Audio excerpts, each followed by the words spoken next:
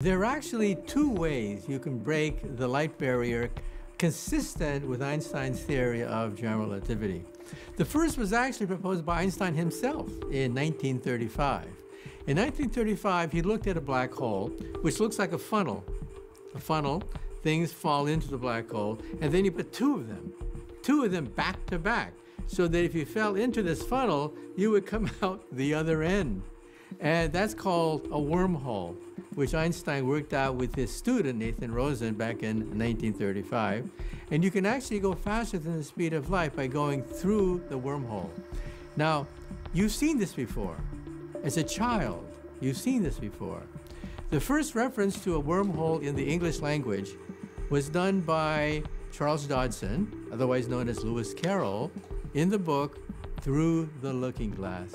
The looking glass is the wormhole.